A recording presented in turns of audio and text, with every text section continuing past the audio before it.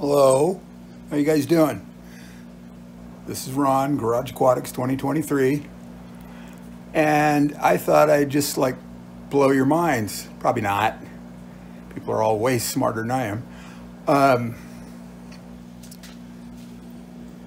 I'm guessing a bunch of you have seen secondhand tanks on places like Facebook Marketplace or OfferUp or Craigslist and they've got no idea how big the tank is, how many gallons it is. And sometimes they only have like one measurement.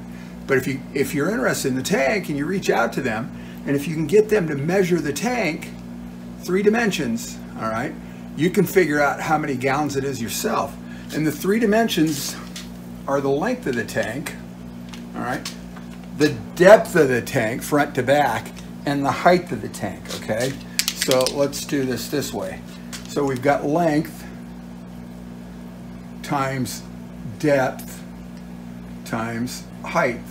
All right. So let's figure out what this one is. All right. Let's see. So I'm measuring outside to outside dimensions. It'd be more accurate from the inside, but it's 48 inches long.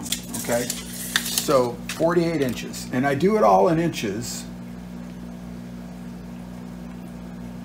Times. And so, so the depth, front to back, is 18 inches. All right. And then the height, top to bottom, is, I'm going to call it 20 because there's, you know, plastic up there and also 20 inches. So if we take those dimensions in inches, 48 inches by 18 inches by 20 inches,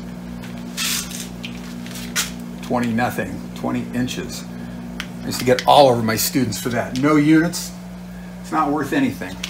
So let's see, 48 times 18 times, and I got, let's try that. I got, I, I think I hit the negative button here. So 48 uh, times 18 times 20 equals 17,280.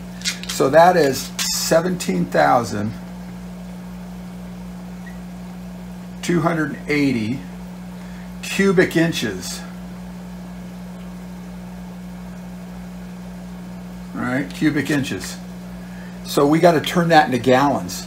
So what we need to do is take this 700, uh, 17,280 and divide it by 231. It's a magic number.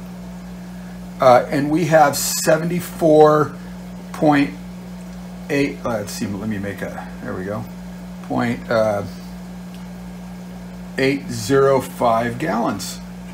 So that's the conversion, all right? So I hope you got something out of that. I hope it helps. If you ever have any questions, comments, smart ass remarks, reach out, let me know. Um, hopefully this helps. There's other ways to do this. There's ways to figure this in, in uh, cubic feet. I guess one thing that you may want to know is for every cubic foot of water, is 7.49 gallons. So if you've got a one foot cube aquarium like I do in the living room, it's 7.49 gallons. So anyway, all kinds of helpful little tidbits. I have no idea how to, how to convert centimeters to liters. We'll figure that out. Maybe I'll make a video of that someday. So anyway, I hope everybody's having a great start to their new year, and I will get back to you. Ron, Garage Aquatics 2023. Take care.